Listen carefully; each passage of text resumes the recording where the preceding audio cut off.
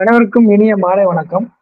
நம்ம புரோலிட்டேரி குழு சார்பாக தினமும் காலை மாலை இரண்டு வேளையும் சத்தம் சார்ந்த வகுப்புல தொடர்ச்சியா நடத்திட்டு வரோம். அந்த வகையில இன்னைக்கு நமக்காக எடுத்து வந்திருக்கக்கூடிய மேடம் பாத்தீங்கன்னா சென்னையில இருந்து ஆயிஷா மேடம் நமக்காக வகுப்பு எடுக்க வந்திருக்காங்க. என்ன வகுப்புனா இந்த sexual harassment of woman at work places நம்ம இந்த மாறி வரும் சமூக சூழல்ல எல்லாருமே படிச்சவங்களா இருக்கட்டும் படிக்காதவங்களா இருக்கட்டும் இந்த ஆஹ், சமூகத்துல இந்த ஒர்க் பண்ற இடத்துல வந்து அந்த ஹராஸ்மெண்ட் அப்படிங்கிறது தொடர்ச்சி நடந்துட்டு இருக்கு நம்ம இந்த மாதிரி வழக்குகளை கையாளுறது கொஞ்சம் குறைவா தான் இருக்கு. அது அதனாலதான் இந்த சட்டத்தை வந்து எடுக்கலாம் அப்படின்னு சொல்லி மேடத்தை கேட்டு கொண்டது என்னங்க? ஆஹ் நமக்காக எடுத்து வந்திருக்காங்க? வெல்கம் மேடம் நம்ம வகுப்புக்குள்ள போலாம் madam thank you madam thank you very much sir அனைவருக்கும் இனிய மாலை வணக்கம். கொஞ்சம் லேட் ஆயிடுச்சு மன்னிக்கணும். இப்போ நாம வந்து நிறைய விஷயங்கள் பெண்களை பத்தி பார்க்க போனோம்னா இந்த செக்ஷுவல் ஹாரஸ்மெண்ட் அப்படிங்கிறது வந்து நிறைய வெளி வெளிப்படாது வராது. வெளிப்படையா சொல்ல மாட்டாங்க. பெண்களுக்கு வெட்கம். சோ அந்த வெட்கமோ இல்ல எதிர்காலம் சிறு பிள்ளைகளுக்கு நடக்கும்போது அது எதிர்காலத்துல அதனுடைய பாதிப்புகள் அதிகமாக இருக்குமோ அப்படிங்கிற ஒரு அச்சம் தான் வந்து காரணம். அப்போ வெளிப்படையா தெரியக்கூடிய விஷயங்களே இவ்வளவு இருக்குன்னா வெளிப்படைய தெ- வெளிப்படையா தெரியாத விஷயங்கள் எவ்வளவோ இருக்கு. சோ அதற்கெல்லாம் வந்து தெரிஞ்சு வெளிப்படையாக வந்த விஷயங்களையாவது வச்சு ஒரு கைட்லைன் வந்து கொண்டு வந்து நம்ம சுப்ரீம் கோர்ட் ஒவ்வொரு விஷயத்திலையும் கைட்லைன்ஸ் கொடுத்து பல சட்டங்கள் உருவாக்கி இருக்கு அதற்கு மிக முக்கியமா பலவித சம்பவங்கள் காரணமா இருக்கு. அதுல ஒண்ணுதான் வந்து Vishaka and others versus state of Rajasthan அப்படிங்கிற வழக்கு. AIR nineteen ninety seven SC three double one அது பார்த்துக்கோங்க. இதன் மூலியமா இந்த வழக்குல என்ன ஃபேக்ட் ஆஃப் த கேஸ் அப்படின்னு பார்த்தோம்னா பன்வாரி தேவி அப்படிங்கிற ஒரு சோசியல் ஒர்க்கர் சைல்டு மேரேஜ் வந்து ராஜஸ்தான்ல அவங்க ஸ்டாப் பண்றாங்க. அப்ப அதை ஸ்டாப் பண்றதுனால கோபப்பட்ட அந்த இருக்கக்கூடிய ஊர் ஒரு சில பெருமக்களாக இருக்கக்கூடியவங்க என்ன பண்றாங்கன்னா கேங் ரேப்ல ஈடுபடுறாங்க. சோ மிக கொடுமையான ஒரு விஷயம் என்னன்னா ஹைகோர்ட்ல அவங்க கன்விக்ட் ஆயிடுறாங்க. சாரி அக்யூட்டல் ஆயிடுறாங்க. சோ அதனால சூமோட்டோவா வந்து சுப்ரீம் கோர்ட் எடுத்து இந்த கேஸ் வந்து அது மட்டும் இல்லாம அங்க இருக்கக்கூடிய சமுதாய சோசியல் ஒர்க்கர்ஸ் எல்லாமே சேர்ந்து அந்த வழக்கு நடத்தும் பொழுதுதான் அப்பதான் வெளிப்படையா தெரியுது என்ன மாதிரியான ஒரு ப்ரூட்டல் திங்ஸ் வந்து நடக்குது. நம்ம நாட்டுல பெண்களுக்கு எதிராக கான்ஸ்டியூஷன்ல இருக்கக்கூடிய ஆர்டிகல் 14 இருக்கட்டும் 15 இருக்கட்டும் 19 இருக்கட்டும் 21 ஒன் இருக்கட்டும் எல்லாமே எந்த அளவுக்கு ஒரு பெண்ணுக்கு வந்து தரப்படுகிறது அப்படிங்கிற அந்த தரம் வந்து அங்க பார்க்கப்படுது. அப்ப பார்க்கப்படும் போது அந்த மாதிரி வந்த ஒரு கைட்லைன் விஷாகா கைட்லைன் தான் இந்த நம்மளுடைய sexual harassment of woman at work place prevention prohibition and redressal act two thousand thirteen so இந்த ஆக்ட் இப்ப இந்த பேஸ் பண்ணி தான் வந்து வந்தது அப்படிங்கிறது தான். இதுல நம்ம வந்து பார்த்தோம் அப்படின்னா டோட்டலாவே நமக்கு எட்டு சாப்டர் இருக்கு. செக்ஷன்ஸ் முப்பது இருக்கு. அறுபத்தி நாலாவது சிக்ஸ்டி ஃபோர்த் ரிபப்ளிக் இயர்ல வந்து நமக்கு இந்த ஆக்ட் வந்திருக்கு. இது மட்டும் அது மட்டும் இல்லாம இது எப்போ என்ஃபோர்ஸ் ஆனது அப்படின்னா twenty second April two thousand thirteen object of the case இந்த ஆக்ட் அப்படின்னு சொல்லி பார்த்தோம்னா அதுதான். நம்ம சொன்னதுதான். Safe and concept equality under article fourteen and fifteen prohibit discrimination discrimination and grounds of religious, race, caste, sex, or place of birth or any of them அப்படிங்கிறதும் and then nineteen subclause one article nineteen sub article one ஜில practice any profession or to carry on any occupation trade or business அதே மாதிரி article twenty one right to life and personal liberty including the right to life with dignity இதை எல்லாத்தையுமே பாதுகாத்து ஒரு பெண்ணிற்கு தரணும் அப்படிங்கிறது தான் வந்து மிக முக்கியமான ஆப்ஜெக்டா இந்த சட்டத்துல இருக்கு. சோ நம்ம அந்த பெண்களை வந்து ரெஸ்பெக்டாகவும் டிக்னிட்டியாகவும் நடத்தணும் ஒர்க் பிளேஸ்ல நடத்தணும் அப்படிங்கிறது தான் மிக முக்கியமான ஒரு ஆப்ஜெக்ட் இதுல பார்த்தோம் அப்படின்னா சாப்டர் ஒன்ல ஒன் டு த்ரீ செக்ஷன் இருக்கும்.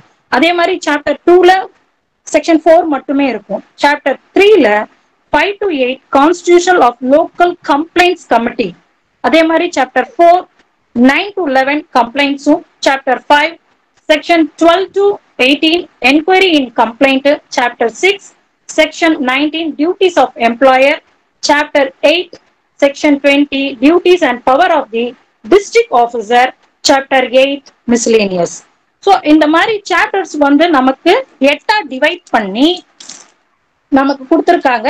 அதுல வந்து ஒரு சிலதெல்லாம் ஒரே ஒரு செக்ஷனை வச்சே ஒரு சில சாப்டர்ஸ் இருக்கும். ஸோ அதுல ரொம்ப அதி முக்கியமானது அப்படின்னு சொல்லிட்டு பார்த்துட்டே போகலாம் நம்ம வந்து செக்ஷன்ஸ்ல எப்பயுமே செக்ஷன் டூ எடுத்துக்கிட்டோம் அப்படின்னா நமக்கு இதுதான் வரும். டெஃபினேஷன்ஸ் தான் வரும். அதே மாதிரி தான் இதுலயும் டெஃபினேஷன்ஸ் ஒரு சில ஆக்ட்ல செக்ஷன் த்ரீலயும் இருக்கலாம். ஸோ அது அந்த depends upon the act so இதுல வந்து நம்ம முக்கியமா பார்க்க வேண்டியது எது அப்படின்னா அக்ரீவ்டு விமன் அப்படிங்கிற அந்த மீனிங் தான். இப்போ அக்ரீவ்டு விமன் அப்படின்னு சொல்லி பார்க்கும்போது in relation to a work place a woman of any age whether employed or not who alleges to have been subjected to any act of sexual harassment by the respondent aggrieved உமன்னா நமக்கு தெரியும் பாதிக்கப்பட்ட பெண். அப்ப அந்த பாதிக்கப்பட்ட பெண் என்பவர் அந்த ஒர்க் பிளேஸ்ல அதை ரிலேட்டட் ஆஃப் ஒர்க் பிளேஸா கூட இருக்கலாம். Not a servant not a எம்ப்ளாயா கூட இருக்கலாம் அப்படின்னு தான் சொல்றாங்க நம்மளுடைய செக்ஷன் டெஃபினேஷன்ல பொறுத்த வரைக்கும் அடுத்தது பார்த்தோம்னா in relation to a dwelling place or house, a woman of any age who is employed in such dwelling place or house. So, அந்த ஜுவல்லிங் place அதாவது அந்த பெண் வேலை செய்யக்கூடிய இடம் எதுவாக இருந்தாலும் அது வீடாக கூட இருக்கலாம் அப்படின்றதுதான் சொல்றாங்க அப்போ அடுத்ததாக வந்து அப்ரோப்ரியேட் கவர்மெண்ட்னு சொல்றாங்க. இது சென்ட்ரல் கவர்மெண்ட் ஆக்ட் இது. ஆனா இந்த சென்ட்ரல் கவர்மெண்ட் ஆக்ட் பொறுத்த வரைக்கும் இந்த ஸ்டேட் கவர்மெண்ட் அப்ரோப்ரியேட் கவர்மெண்ட் அப்படிங்கும்போது அந்த ஒர்க் பிளேஸ் எதுல வந்து வருதோ அந்த ஸ்டேட் கவர்மெண்ட் ஏன்னா இதுல வந்து ஃபண்ட் வந்து செலவு பண்ண சொல்லியிருப்பாங்க.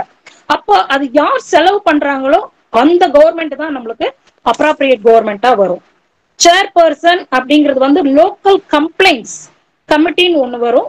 அதுல செக்ஷன் செவன்ல சொல்லப்பட்ட ஒரு சேர்பர்சன் தான் இதுல மீன் ஆகும். அதே மாதிரி டிஸ்ட்ரிக்ட் ஆபீசர் அப்படிங்கிறவரு அண்டர் செக்ஷன் ஃபைவ்ல யாரை வந்து சொல்றாங்களோ அந்த ஆபீசர் தான் வருவாங்க. இதுல எம்ப்ளாயி எம்ப்ளாயர்ஸ் அப்படிங்கிறதும் வந்து நமக்கு அப்படியே வந்துடும் so employer and employee and employer எப்படியோ அதையும் பார்த்துருங்க. இன்டர்னல் கமிட்டி இன்டர்னல் கமிட்டி அப்படிங்கறத பொறுத்த வரைக்கும் அவங்க சொல்றாங்க செக்ஷன் ஃபோர்ல இருந்து இன்டர்னல் கப்படி இன்டர்னல் கமிட்டி அப்படிங்கிறது வந்து ஒரு ஒர்க் பிளேஸ்ல உருவாக்கப்படக்கூடிய ஒரு கமிட்டி தான் வந்து அது இன்டர்னல் கமிட்டி இப்போ ஒரு ஆபீஸ் இருக்கு இல்ல ஒரு போர்டு இருக்கு.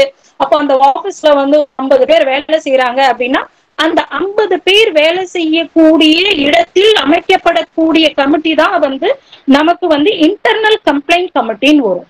ஸோ இது எஸ்டாப்ளிஷ்மெண்ட்ல அது வரும். அடுத்தது வந்து லோக்கல் கமிட்டி அப்படின்னு சொல்லி சொல்றாங்க அண்டர் செக்ஷன் சிக்ஸ் இந்த லோக்கல் கமிட்டி அப்படிங்கிறதும் வந்து ஒரு டிஸ்ட்ரிக்ட் லெவல்ல உருவாக்கப்படக்கூடிய அது வந்து நம்ம ஒன்னு இன்டர்னல் கமிட்டியாகவும் இருக்கலாம் ஆர் நம்ம கொடுக்கக்கூடிய கம்ப்ளைண்ட்ஸ் ஆர் லோக்கல் கமிட்டியாகவும் இருக்கலாம். அது வந்து தாலுக்ல அந்த மாதிரி வந்து இந்த டிஸ்ட்ரிக்ட் ஆபீசர் அப்பாயிண்ட் பண்ணுவாரு. அந்த மாதிரியான ஒரு கமிட்டி தான் வந்து லோக்கல் கமிட்டி அப்படிங்கிறது. இதுல ரொம்ப முக்கியமா நம்ம பார்க்கணும் என்னன்னா இதுல செக்ஷுவல் ஹாராஸ்மெண்ட் அப்படின்னு சொல்றது எதுக்கு சொல்றாங்க அப்படிங்கிறது தான் இது ஒண்ணும் இல்ல point number one physical contact on and advances அந்த மாதிரி இருக்கும்போது. அடு அல்லது a demand or request of for sexual favours அப்படி இருக்கும்போது. அல்லது making sexually coloured remarks or showing pornography or any other unwelcomed physical verbal or non-verbal contact of sexual nature அப்படிங்கிறது தான் வந்து சொல்றாங்க. ஸோ ஒர்க் பிளேஸ் அப்படிங்கிறது எ- என்ன அப்படின்னா பிரைவேட்டாகவும் இருக்கலாம் இன்ஸ்டிடியூஷன்ஸ் இருக்கலாம் ஆர்கனைசேஷன்ஸ் இருக்கலாம். ஸோ இந்த மாதிரி கமர்ஷியல் எல்லாத்துலேயும் இன்க்ளூட் பண்ணக்கூடியது தான் வந்து ஹாஸ்பிட்டல்ஸ் கூட வரும். ஹாஸ்பிட்டல் நர்சிங் இது எல்லாருமே வந்து நமக்கு ஒர்க் பிளேஸ்ல வந்துரும். இப்போ நமக்கு இன்னொரு விஷயம் இன்னொன்னு பார்க்க வேண்டியது என்ன அப்படின்னா அந்த லாஸ்ட் ஒரு point a dwelling place or a house so அதை கூட வந்து ஒர்க் பிளேஸ் தான் இதுல மென்ஷன் பண்றாங்க. ஏன்னா நமக்கு எல்லாமே ஓரளவுக்கு தெரியும் இதெல்லாம் தான் வரும் அப்படிங்கிற ஒரு ஒர்க் பிளேஸ் அப்படின்னா இதெல்லாம் வரும்னு சொல்லி. ஆனா லாஸ்ட் சிக்ஸ்த்ல ஒன்னு பாயிண்ட்ல சொல்லும் போது டெஃபினேஷன்ல நமக்கு ஜுவல்லிங் பிளேஸ் ஒரு ஹவுஸ் அப்படிங்கிறதையும் சொல்றாங்க அப்படிங்கிறது தான் இப்போ அன்ஆர்கனைஸ்டு செக்டர் இப்போ பார்த்தோம்னா அன்ஆர்கனைஸ்டு செக்டர் அப்படின்னா ஒரு சில சின்ன சின்ன செம்ப் எம்ப்ளாய்மெண்ட் ஒர்க்கர்ஸ் இருக்கும். அந்த மாதிரியான இருக்கக்கூடிய ப்ராடக்ட்ஸ் ரெடி பண்ணக்கூடிய சின்ன சின்ன விஷயங்கள் எல்லாம் இருக்கும் இல்லையா? அது எல்லாமே இதுல வந்துரும். அது மட்டும் இல்லாம இந்த எம்ப்ளாயிஸ் வந்து லெஸ் தென் டென்னா இருக்கும். அப்போ நம்ம ஒர்க்கிங் பிளேஸ்ல இருக்கக்கூடிய அந்த மெம்பர்ஸுடைய அளவு லெஸ் தென் டென்னா இருக்கக்கூடியது வந்து அன்ஆர்கனைஸ்டு செக்டர் அப்படின்னு சொல்லி சொல்றோம். எஸ் அடுத்ததாக section three prevention of sexual harassment அப்போ இதுல முதல் செக்ஷன் சப்ளாஸ் என்ன சொல்லுது அப்படின்னா கண்டிப்பா ஒரு பெண் பாதிக்கப்படக்கூடாது அப்படிங்கிறது தான் அடுத்ததா என்னென்ன சர்க்கம்ஸ்டன்ஸ் வந்து அவங்கள அந்த பாதிப்புல உருவாக்குது? என்னென்ன மாதிரியான பாதிப்புகளை உருவாக்குறாங்க? என்ன மாதிரியான சுச்சுவேஷன்ஸ் கிரியேட் பண்றாங்க அப்படின்னா ஒரு நேரடியாகவோ அல்லது மறைமுகமாகவோ ஒரு பெண் கிட்ட அந்த வேலை வாய்ப்புல முன்னுரிமை உங்களுக்கு தரும் அப்படின்னு சொல்லி ஒரு உறுதி கொடுக்கறது. நான் உங்களுக்கு முன்னுரிமை தரேன் நீங்க செய்யக்கூடிய ஒர்க்குக்கு அப்படின்னு சொல்லிட்டு அவங்கள வந்து ஒரு ஆசை காட்டி ஒரு நேரடியாகவோ மறைமுகமாவோ அவங்கள இந்த பக்கமா இழுக்கிறது. ஒண்ணு. இந்த மாதிரியான ஒரு சூழ்நிலையில ஒண்ணு. அவளது வேலையில் தீங்கு ஏதாவது விளைவிக்கும் விளைவிக்கிற மாதிரி ஒரு அச்சுறுத்தல் செய்வது. த்ரெட்டன் ஸோ அந்த த்ரெட்டன் பண்ணும்போது அவங்களுக்கு என்ன ஆகும்? ஒரு பயம் வரும். ஓ நம்மளுக்கு இந்த மாதிரி பண்ணிடுவாங்களோ அப்போ அந்த பெண்ணுக்கு அந்த சூழ்நிலையை உருவாக்கி கொடுக்கறது. அந்த மாதிரி செய்யறதும் அவளுடைய தற்போதைய அல்லது எதிர்கால வேலை நிலையை பற்றி அச்சுறுத்துறது. அப்போ இப்போ அந்த பொண்ணு வந்து செய்யக்கூடிய வேலை இப்போ நீ இருந்த இப்போ நீ அப்போ வரவே இல்லையா அடுத்து உனக்கு அந்த வேலை இருக்கு இல்லையா? அதை நீ செய்யணும் இல்லையா? அதுல நீ வரணும் அப்படின்னா உனக்கு அதுல நேம் வரணும் அப்படின்னா நீ இப்படி நடந்துக்கணும். அப்போ எதிர்காலத்தில் வரக்கூடியதாக இருந்தாலும் சரி தற்போது நீ இப்ப செய்யணும் அப்படின்னா இதற்கான ரீசன் பாரு நீ இப்ப இந்த வேலையை செய் அப்பதான் உனக்கு இந்த வேலை நடக்கும். அப்படிங்கிற மாதிரி. தற்போதைய வேலையாக இருந்தாலும் சரி எதிர்காலத்தில் அவளுக்கு அந்த பெண்ணிற்கு வரக்கூடிய பெனிஃபிட்டுக்காக இருக்கக்கூடிய வேலைகளாக இருந்தாலும் சரி அதற்கான ஒரு சூழ்நிலையை உருவாக்கி அச்சுறுத்துவது. அது மட்டும் இல்லாம அந்த பெண்ணுடைய வேலையில குறுக்கீடு செய்வது. அவங்கள வந்து அச்சுறுத்துறது இல்ல புண்படுற மாதிரி செய்யறது பணிச்சூழல் அவளுக்கு எதிராக உருவாக்கி கொடுக்கிறது. வேற அவங்க செய்யறாங்க அந்த வேலையை செய்ய விடாது. அப்போ அந்த பணியை அவங்களுக்கு எதிரா செய்யக்கூடிய அந்த செயலையும் சொல்லும். அது மட்டும் இல்லாம அவங்கள வந்து உடல் ரீதியாகவும் சரி ஒரு பாதுகாப்பு இன்மை ஒரு அச்சுறுத்தும் விதமாக இல்ல அவங்கள அவமானப்படுத்தும் விதமாக செயல்படுறது. சோ இந்த மாதிரியான ஒரு சில சூழ்நிலைகளை உருவாக்கி செய்யக்கூடியதும் நாம இதுல கொண்டு வரலாம். சோ இந்த மாதிரியான விஷயங்கள்ல இருந்தும் நம்ம இந்த prevention of sexual harassment section த்ரீல சொல்லப்பட்டிருக்கு. அடுத்ததாக செக்ஷன் ஃபோர் இந்த ஸ்பீடு ஓகேவா okay madam okay okay okay madam yes ma'am அடுத்ததா section four constitution of internal complaints committee இப்போ செக்ஷன் ஃபோர்ல ஒரு இன்டர்னல் கம்ப்ளைண்ட்ஸ் கமிட்டி எப்படி உருவாகணும் அப்படிங்கறத பத்தி சொல்லியிருக்காங்க. ஸோ அது அப்படி சொல்லும்போது ஒரு ஆர்டர் ஆகவோ இல்ல ரிட்டர்ன்லயோ ஒரு ஆபீஸ்ல ஒரு எம்ப்ளாயர் என்ன பண்ணணும்னா ஒரு கமிட்டிய ஃபார்ம் பண்ணணும். இன்டர்னல் கமிட்டி அப்படிங்கிறது. அதுதான் வந்து இன்டர்னல் கமிட்டி அப்படிங்கிறது. ஆக பத்திற்கும் மேற்பட்ட இருக்கக்கூடிய ஒரு அலுவலகத்துல வந்து நமக்கு கம்பல்சரி இந்த இன்டர்னல் கம்ப்ளைண்ட்ஸ் கமிட்டி அப்படிங்கிறது இருக்கும். இன்டர்னல் கமிட்டி அப்படிங்கிறது வந்து மெம்பர்ஸ் வந்து கொண்டு வருவாங்க. யார் யாரெல்லாம் மெம்பர்ஸா இருப்பாங்க அப்படின்னா ஒரு ப்ரிசைடிங் ஆபீசர் அதாவது சீனியர் லெவல்ல இருக்கக்கூடிய ஒரு விமன் எம்ப்ளாயி இருப்பாங்க. அதுக்கப்புறம் ரெண்டு மெம்பர் ஒருத்தருங்க வந்து social worker or have legal knowledge ரெண்டுல ஏதோ ஒன்று இருக்கணும். கண்டிப்பா இருக்கணும். அதே மாதிரி நான் கவர்மெண்ட் ஆர்கனைசேஷன்ல ஒரு மெம்பரா இருக்கிறவங்களும் இருக்கலாம். ஸோ இந்த மாதிரி இருக்கக்கூடிய மெம்பர்ஸை பேஸ் பண்ணி ஒரு மூணு வருஷத்துக்கு இந்த பீரியடுக்கு இவங்க வந்து இருப்பாங்க. இவங்களுக்கான அலோவன்ஸ் அதாவது அந்த ப்ரிசைடிங் ஆஃபீஸர் இல்லாம மத்த வெளியில இருந்து வரக்கூடியவங்களுக்கு அலோவன்ஸ் அண்ட் ஃபீஸஸ் வந்து கொடுப்பாங்க.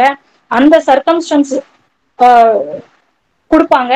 இதுல வந்து என்னென்ன சர்க்கம்ஸ்டன்ஸ்ல வந்து ரிமூவ் பண்ணுவாங்க அப்படின்றது பார்க்கலாம். அப்போ சப்ளாஸ் ஃபைவ்ல வந்து அவங்க கான்ட்ரவர்ஸா ப்ரொவிஷன் செக்ஷன் சிக்ஸ்டீன்ல சொல்லப்பட்டதற்கு கான்ட்ரவர்ஸா நடந்துக்கிட்டா அவங்களுக்கு வந்து என்ன பண்றாங்க ரிமூவ் பண்ணிடுவாங்க அதே மாதிரி ஏதோ ஒரு விஷயத்துல கன்விக்டோ இல்ல என்கொயரியோ அவங்க மேல இருந்தது அதர் லாஸ் மூலியமா இருந்தது அப்படின்னா அதுக்கும்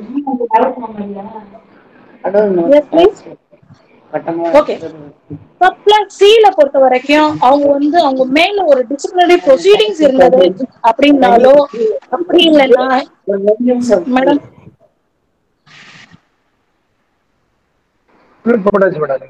மேம் கண்ணி மேம் எஸ் எஸ் சோ ஏதோ ஒரு அப்யூஸ் பண்ணக்கூடிய செயல்களை செய்தாலோ அவங்க வந்து ரிமூவ் பண்ணிடலாம் அப்படின்னு சொல்லி சொல்றாங்க. அடுத்ததாக சாப்டர் த்ரீல நம்ம பார்க்க போறது constitution of local complaints committee so local complaints committee பொறுத்த வரைக்கும் லோக்கல் கம்ப்ளைண்ட்ஸ் கமிட்டி பொறுத்த வரைக்கும் ஒரு நோட்டிபிகேஷன் செக்ஷன் ஃபைவ்ல notification of district officer so district officer இதுல யார் அப்படின்னா ஒரு district magistrate additional district magistrate or collector deputy collector or district officer so இவங்க தான் வந்து நோட் டிஸ்ட்ரிக்ட் ஆபீசரா போடுவாங்க. அதுக்கப்புறம் இவங்க ஒரு constitution of jurisdiction of local committee complaint sorry complaint கமிட்டியை வந்து போடுறாங்க. அதுல டிஸ்ட்ரிக்ட் லெவல்ல லோக்கல் கமிட்டியில ஒரு எஸ்டாப்ளிஷ்மெண்ட் பேஸ் பண்ணி கம்ப்ளைண்ட் ரிசீவ் பண்ணணும் இவங்க. ஸோ இவங்க ரிசீவ் பண்ணதுக்கு அப்புறம் ஒரு பத் ஒரு சில இதுல பார்த்தோம் அப்படின்னா பத்துக்கு குறைவான அப்படின்னு சொல்லி சொல்லியிருப்போமா? பத்துக்கு குறைவான அன்ஆர்கனைஸ்டு அப்படின்னு சொல்லி சொல்லியிருப்போம் இல்லையா? அந்த மாதிரியோ இல்ல டைரக்டா முதலாளிக்கே வந்து ஒரு சில விஷயங்கள் அவரே செய்யும் போது அந்த இடத்துல வந்து பார்த்தோம் அப்படின்னா நம்ம இன்டர்னல் கம்ப்ளைண்ட்ஸ் கமிட்டி வந்து அமைச்சிருக்க மாட்டாங்க. அதே எம்ப்ளாயர்ஸ்குள்ளேயோ இல்ல வேற எங்கேயோ நடக்கும்போது கண்டிப்பா அது நடக்கும். ஆனா இந்த பத்திற்கும் குறைவாகவும் அதே மாதிரி ஒரு முதலாளியின் மேலேயே அந்த கம்ப்ளைண்ட்ஸ் இருந்ததுன்னா அந்த இடத்துல வந்து இன்டர்னல் கமி கமிட்டி அமைக்கப்படாம இருந்தது அப்படின்னா இது லோக்கல் கமிட்டிக்கு வந்துடும் ஸோ இந்த லோக்கல் கமிட்டி என்ன பண்றாங்க அப்படின்னா ஒரு டிஸ்ட்ரிக்ட் ஆபீசரை வந்து உருவாக்குறாங்க. அந்த டிஸ்ட்ரிக்ட் ஆபீசர் வந்து ஒரு நோடல் ஆபீசரை உருவாக்குவாரு. ஒரு block taluk and then rural area ஒரு ரூரல் ஏரியால ட்ரைபல் ஏரியாஸ்ல முனிசிபாலிட்டி அதாவது வார்டில் அர்பன் ஏரியால வார்டுல எல்லாம் உருவாக்குவாங்க. ஸோ இந்த கம்ப்ளைண்ட்ஸை பொறுத்த வரைக்கும் ஒரு ஏழு நாளுக்குள்ள அமைச்சு அனுப்பிடணும். அப்போ ஏழு நாளுக்குள்ள யாருக்கு ரீச் ஆயிரணும்? நமக்கு இந்த லோக்கல் கம்ப்ளைண்ட்ஸ் கமிட்டிக்கு ரீச் ஆயிரணும். யார் அனுப்பியிருக்கணும்? ஒன்று நமக்கு வந்து இன்டர்னல் கம்ப்ளைண்ட்ஸ் கமிட்டி கொடுத்துருக்கணும். அப்படி இல்லை அப்படின்னா நமக்கு அந்த கம்ப்ளைண்ட்ஸை டைரக்டா கொடுத்துருக்கணும். அண்ட் தென் எப்படி இது வந்து டென்யூர் என்ன இருக்கு எப்படி கம்போஸ் பண்றாங்கன்னு சொல்லிட்டு பார்க்கலாம்.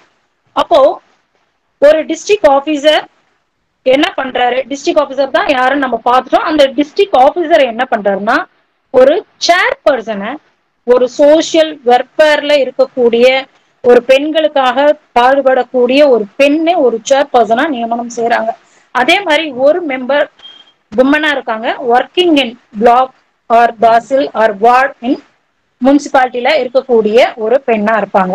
ரெண்டு மெம்பர்ஸ் யாருன்னா non governmental organiser or association சம்பந்தப்பட்டவங்களா இருக்காங்க. ப்ரொவைடட் என்ன பண்றாங்கன்னா ஒரு மெம்பர் பேக்ரவுண்ட் இன் லால இருக்கணும்னு சொல்றாங்க. இன்னொரு ப்ரொவைடட் என்ன சொல்றாங்கன்னா SC ST or other BC or minority கம்யூனிட்டியில இருக்கிறவங்க இருக்கணும்னு சொல்லி சொல்றாங்க. சோ இதுல இன்னொரு விஷயம் என்ன அப்படின்னா இதுல அஃபீஷியலா யார் இருப்பாங்கன்னா நம்ம உமன் அண்ட் சைல்ட் டெவலப்மெண்ட் அந்த மாதிரி இருக்கக்கூடிய சோசியல் வெல்ஃபேர்ல இருக்கக்கூடிய முன்னால இருக்கு ஏற்கனவே இருந்த ரிட்டையர்டு ஆபீசர்ஸ் வந்து இதுல அப்பாயிண்ட் பண்ணுவாங்க. அண்ட் தென் ரிமூவல் பொறுத்த வரைக்கும் இன்டர்னல் கமிட்டிக்கு என்னென்னலாம் சொன்னாங்களோ அதே மாதிரிதான் இவங்களுக்கும் ரிமூ ரிமூவல்ல வந்துரும். அதே மாதிரி ஃபீ பொறுத்த வரைக்கும் எப்படி வந்து ஆஸ் பர் இன்டர்னல் கமிட்டிக்கு சொன்னாங்களோ அதே மாதிரி தான் ஸோ அஃபீஷியல்ஸ்க்கு அந்த கிராண்ட் போ அந்த பைசா போகாது. ஆனா அந்த பணம் வந்து வெளியில இருந்து யார் மெம்பரா வராங்களோ அவங்களுக்கு அந்த கமிட்டிக்கு தருவாங்க. அதே மாதிரி இதுல கிராண்ட் பண்ணக்கூடிய செலவுகள் இது எல்லாமே வந்து எந்த சென்ட்ரல் கவர்மெண்ட் வந்து ஒரு ஃபிட் பண்ணும்? இவ்வளவுதான் பாஸ்ட் அப்படின்னு சொல்லிட்டு. இதை ஃபிட் பண்ணக்கூடிய அதிகாரம் இவ்வளவு செலவு பண்ணணும் இவ்வளவு செய்யணும். ஃபிட் பண்ணக்கூடிய அந்த அதிகாரம் யாருக்கு இருக்குன்னா சென்ட்ரல் கவர்மெண்ட்டுக்கு இருக்கு. ஸோ அதை வந்து கிராண்ட் பண்றது யாருன்னா ஸ்டேட் கவர்மெண்ட் கிராண்ட் பண்ணும். சரிங்களா? அண்ட் தென் சாப்டர் ஃபோர் ஒரு கம்ப்ளைண்ட் இப்போ அக்ரீவ்டு விமன் கிட்ட இருந்து ஒரு கம்ப்ளைண்ட் அந்த சம்பவம் நடந்து ஒரு மூன்று மாதத்துக்குள்ள இந்த கம்ப்ளைண்ட் வந்து ரிட்டனா கொடுக்கணும். ஒண்ணு இன்டர்னல் கமிட்டிக்கு கொடுக்கலாம் அல்லது லோக்கல் கமிட்டிக்கு கொடுக்கலாம். இன்டர்னல் இருந்தா அந்த ஆபீஸ்ல இருக்கும் லோக்கலா இருந்தா டிஸ்ட்ரிக்ட் வைஸா இருக்கும். அண்ட் அவங்களால வந்து ஒரு கம்ப்ளைண்ட் செய்ய முடியல அந்த பெண்ணால. காரணம் என்னன்னா அவங்க பிசிக்கலா பாதிக்கப்பட்டிருக்கலாம் இல்ல மென்டல் இன்கெப்பாசிட்டியில இருந்திருக்கலாம் இல்ல இறந்து போயிருக்கலாம். அந்த இல்ல அதர்வைஸ் அந்த செக்ஷுவல் ஹாராஸ்மெண்ட்ல இந்த மாதிரியான விஷயங்கள் நடந்திருக்கும் பொழுது அப்போ அவர்களுடைய legal heirs or such other person may make a complaint so வேற யார் வேணாலும் அந்த கம்ப்ளைண்ட்டை பண்ணலாம். சரி இது ஒரு செக்ஷன் நைன்ல சொல்லப்படுது. செக்ஷன் டென்ல என்ன சொல்றாங்கன்னா சமரசம். சோ எந்த ஒரு விஷயத்துக்கும் முன்னாடி வந்து சமரசம் தான் வந்து நிற்கும். இப்போ இதுல சமரசம் உண்டான்னா உண்டு. அப்போ சமரசம் செய்து கொள்ள இன்டர்னல் கமிட்டி இல்லைன்னா லோக்கல் கமிட்டி செட்டில் பண்ணலாம். இந்த மேட்டரை வந்து அண்டர் செக்ஷன் லெவன்ல அக்ரிசிவ் உமன் விருப்பப்பட்டாங்கன்னா சமரசம் செஞ்சிடலாம். இந்த சமரசம் பொறுத்த வரைக்கும் அவங்க செய்யும் போது லோக்கல் கமிட்டியோ இன்டர்னல் கமிட்டியோ செய்யும் போது பணத்தை தீர்வு செய்ய கூடாது பணத்திற்கான கண் இந்த சமரசம் கிடையாது. இந்த கன்சலேஷன் கிடையவே கிடையாது. அப்படிங்கிறது தான் இது. ரொம்ப இம்பார்ட்டன்டான ஒரு விஷயம். கன்சலேஷன் அப்படின்னு வரும்போது இது வந்து நமக்கு பணம் சம்பந்தப்பட்டதாக இருக்கக்கூடாதுங்கிறத நம்ம இது சொல்றது இந்த சட்டம். அதுக்கப்புறம் செட்டில்மெண்ட் அப்படி நடந்துருச்சு அப்படின்னா அந்த செட்டில்மெண்ட் வந்து ரெக்கார்ட் பண்ணணும். ஸோ ஃபார்வர்ட் டு எம்ப்ளாயருக்கு அந்த ரெக்கார்டான அந்த செட்டில்மெண்ட்டை எம்ப்ளாயருக்கும் அனுப்பணும் டிஸ்ட்ரிக்ட் ஆஃபீஸருக்கும் அனுப்பணும். ஏன் அப்படின்னா ஃபர்தர் ஆக்ஷன் அதுக்கு மேலே எடுக்கணும் இல்லையா? ஸோ அதற்காக அவங்க கிட்ட அனுப்பணும். அதே மாதிரி எல்லாருக்குமே அந்த காப்பீஸ் வந்து கொடுக்கணும் ப்ரொவைட் பண்ணணும். அது மட்டும் இல்லாம வென் நோ ஃபர்தர் என்கொயரி இனி எந்த ஒரு என்கொயரியும் கன்சிலியேஷன் முடிஞ்சிருச்சுன்னா அதற்கு மேல வந்து நடத்தக்கூடாது அப்படிங்கிறது இந்த சட்டம் வந்து சொல்லுது. Okay section eleven enquiry into complaint so enquiry முடிஞ்சிருச்சு. இப்போ கன்சிலியேஷன்ல ஒன்றும் நடக்கல. அடுத்தது வந்து ஒரு என்கொயரி கன் கண்டக்ட் பண்ணணும். வித்தின் நைன்டி டேஸ்க்குள்ள இது நடக்கணும். அப்போ ஒரு என்கொயரி அங்க கன்சிலேஷனுக்கு அப்புறம் வந்ததுக்கு அப்புறம் நமக்கு ஒரு தொண்ணூறு நாட்களுக்குள் இது நடக்கணும் அப்படின்னு சொல்லிதான் சொல்றாங்க.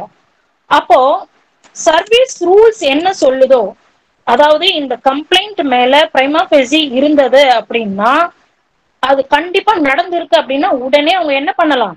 போலீஸ்ல வித்தின் செவன் டேஸ்க்குள்ள அவங்க கம்ப்ளைண்ட் கொடுக்கலாம். யார் கொடுக்கலாம்?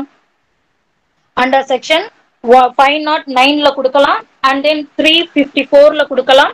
ஸோ அந்த என்கொயரி பண்ணிட்டு இதுல முகாந்திரம் இருக்குன்ற பட்சத்துல போலீஸ்ல அவங்க ஃபார்வர்ட் பண்ணிடுவாங்க கம்ப்ளைண்ட்டை அப்படிங்கிறது தான் அடுத்தது கோர்ட் ஒன்னு கன்விக்டும் பண்ணலாம். இல்ல order payment of such sum as may consider appropriate so ரெண்டுமே பண்ணலாம். அது court may presume court may do that and then internal committee or local committee enquiry பண்ணது அப்படின்னா எதை பேஸ் பண்ணி பண்ணோம் அப்படின்னா CPC nineteen nought eight so அதை பேஸ் பண்ணி சம்மனிங் அனுப்புறது forcing to attend the person and examine him இந்த மாதிரி எல்லாம் செய்யறதுக்கு அவங்க வரணும். அப்போ சிபிசி பேஸ் பண்ணி அந்த என்கொயரி கண்டக்ட் பண்ணணும் அப்படிங்கறதான் சொல்றாங்க.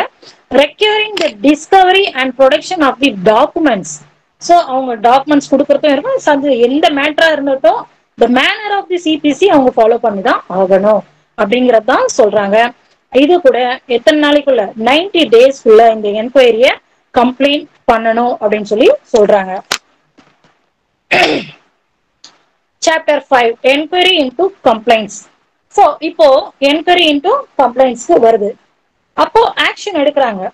ஸோ அது இன்டர்னல் லோக்கல் கமிட்டியாவும் இருக்கட்டும் இன்டர்னல் கமிட்டியாவும் இருக்கட்டும் நடக்கக்கூடிய அந்த விஷயங்களை பத்தி எம்ப்ளாயருக்கு ஒரு ரெக்கமெண்ட் செஞ்சு அனுப்பும். என்ன ரெக்கமெண்ட் செஞ்சு அனுப்பும்னா அந்த லேடிஸ் பாதிக்கப்பட்ட அந்த பெண்ணுக்கு ஒரு டிரான்ஸ்ஃபர் போடணும். அப்படி இல்லைன்னா ஏன்னா ஒரே இடத்துல வேலை செய்யறாங்க இல்லையா? நீ கம்ப்ளைண்ட் பண்ணிட்டல உன்னை எப்படி சும்மா விட முடியும்?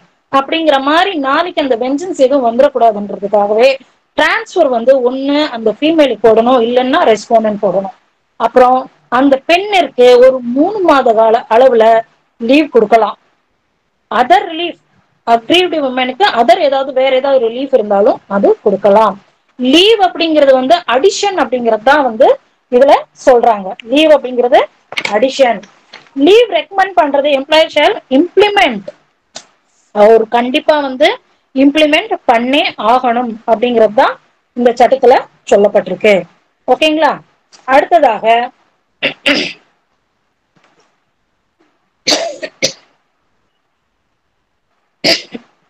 sorry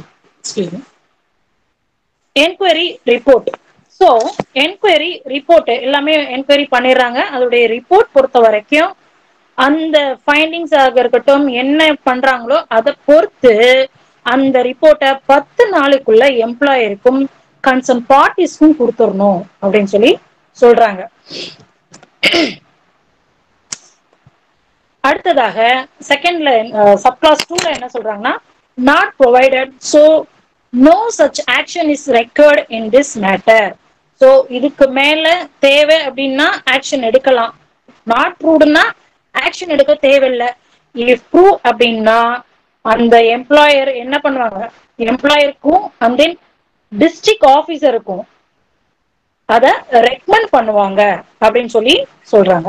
இன்கேஸ் இப்போ அடுத்தது என்ன அப்படின்னா இப்போ கன்சலேஷன் அமௌண்ட் வந்து கொடுக்காம இருக்காங்க இல்லையா? அப்போ அந்த கன்சலேஷன் அமௌண்ட் என்ன பண்ணிருக்காங்கன்னா அவர் லீவ் போட்டிருப்பாரு. இல்ல அவர் சேலரியில இருந்து டிடெக்ட் பண்ணணும்னு சொல்லியிருப்பாங்க. அப்போ அந்த என்கொயரிக்கு அப்புறம் என்னெல்லாம் நடக்குது? இந்த விஷயங்கள் அத்தனையும் வந்து யார் ஃபாலோ பண்ணி ஆகணும் எம்ப்ளாயர் ஃபாலோ பண்ணி ஆகணும். த்ரோட் கொஞ்சம் இது பண்ணுது. ஸோ இது வரைக்கும் ஏதாவது டவுட் இருந்தா கேளுங்க. நான் morning முடிச்சிடுறோம். Sir Kalitha sir Kalitha sir சொல்லுங்க மேடம் த்ரோட் கொஞ்சம். ரொம்ப ப்ராப்ளம் பண்ணுது. ஓகே ஓகே மேடம் சார் ஆ ஓகே மேடம் கேக்குதா மேடம் எஸ் எஸ் சார் கேக்குது சார் ஓகே மேடம் சரி ஓகே மேடம் இது நான் நாளைக்கு continuation- கண்டினியூ பண்ணிருக்கோமா சார் ஆ ஓகே மேடம் ஓகே மேடம் நான் இதோடைய கண்டினியூஷன் நாளைக்கு பண்ணிட்டுமா? இதுல ஏதாவது டவுட்ஸ் இருந்தா கேளுங்க ப்ளீஸ் மேடம் சார் இது இசை இது சொன்னீங்களே செக்ஷன் டென்னுல செக்ஷன் டென் இருக்கு இல்லையா செக்ஷன் டென்னு எஸ் சார் அதுல பணம் பணம் சார்ந்த தீர்வு இருக்கக்கூடாதுங்கிறீங்க. சார் அப்ப அவங்களுக்கு என்ன சார் இல்ல மேடம் பணம். சார்ந்த பணம் சார்ந்த தீர்வு செய்யக்கூடாதுன்னு இருக்கு இல்லையா? ஆமா. அது இல்லைன்னா அவங்களுக்கு வேற என்னதான் ரெமெடி அந்த இசை விணக்கத்துல அவங்களுக்கு என்னதான் ரெமெடி இருக்கு? சார் அவங்க அது முடிவு பண்ணி சார் அதற்காகவே அவங்கள ஃபோர்ஸ் பண்ணி தள்ளக்கூடாதுன்னு தான் சொல்றது. பணத்திற்காகவே செய்யக்கூடாது. Okay okay. இல்ல வேற ஏதாவது அதுக்கு ரெமெடி இருக்கான்னு கேக்குறேன் இன்ஜூரி ஆயிருக்கும். அதுக்கு அவங்க பண்ணிதான் ஆகணும். இல்லையா? அவங்களுக்கு இன்ஜுரி ஆயிருக்கும் ஹாஸ்பிட்டலைஸ் இருக்கும். சோ அதுக்கெல்லாம் அவங்க பண்ணிதான் ஆகணும். சரிங்க மேடம் ஓகே மேடம். உடம்பு உடம்ப பாத்துக்க thank you thank you thank you force பண்ணக்கூடாதுன்றதுதான் sir அந்த இடத்துல. நீ வந்து அதை ஃபோர்ஸ் பண்ணிடக்கூடாது. கமிட்டிஸ் வந்து ஃபோர்ஸ் பண்ணிடக்கூடாதுன்றதான் சொல்றாங்க. Okay okay okay ma'am okay thank you madam thank you thank you so வேற ஏதாவது டவுட் please? வேண்டாம் மேடம் தோண்டையெல்லாம் உங்களுக்கு ஓவர் கஷ்டமா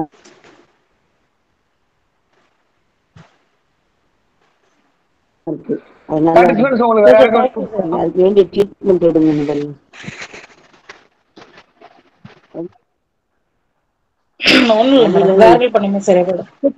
உப்பு தண்ணி.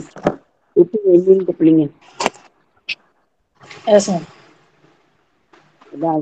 Thank you madam thank you madam